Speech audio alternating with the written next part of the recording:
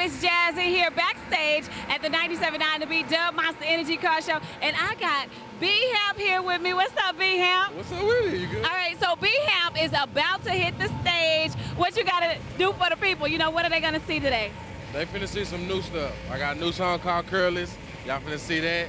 Y'all finna see a new song called A. Just a whole bunch of new stuff, man. You know, just finna give them something to entertain them and turn them up. Yeah, if you don't remember, B-Hamp had the big hit Ricky Bobby. Are you going to do the Ricky Bobby? Yeah, I'm gonna give them to Ricky Bobby.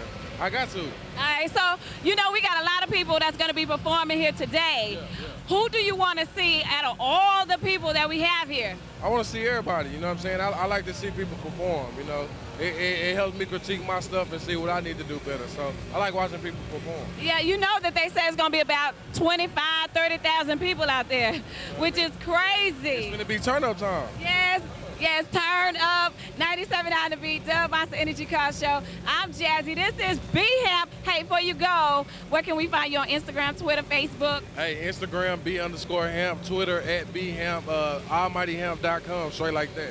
That's right. So make sure you follow him. If you want to follow me, you can at Jazzy Radio Chickens 97.9 The Beat, baby.